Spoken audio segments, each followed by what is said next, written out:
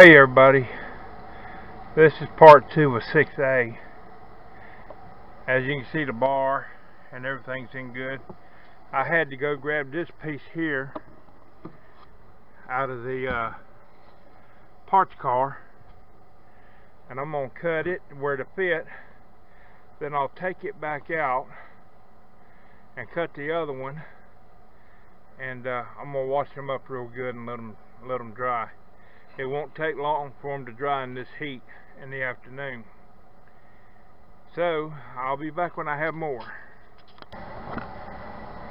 I drug out my tin snips to cut this with.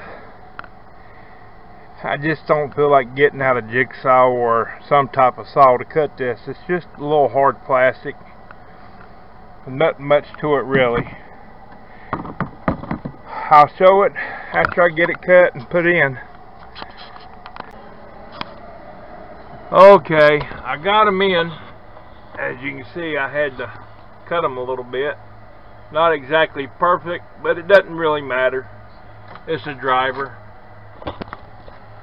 And I'm going to have to take them back out, clean them back up, see if I can't get them in a little bit better and uh, I'll be back when I have more. Well, they're clean, or should I say semi-clean. I got them on the hood of this parts car, and uh, they'll be dry enough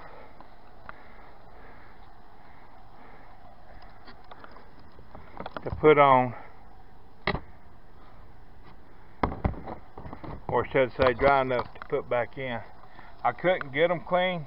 This red clay dirt up here, it's hard to get out and I just not able to bend over to, to scrub.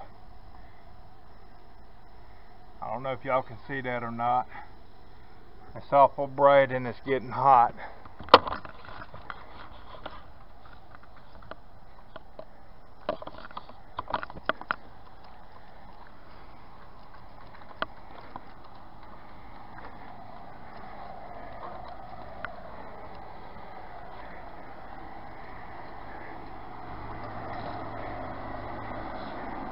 My son, or should I say one of my sons, is getting ready to cut this 4x4 into four legs for my benches.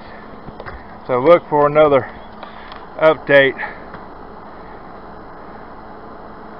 on uh, on my building this weekend.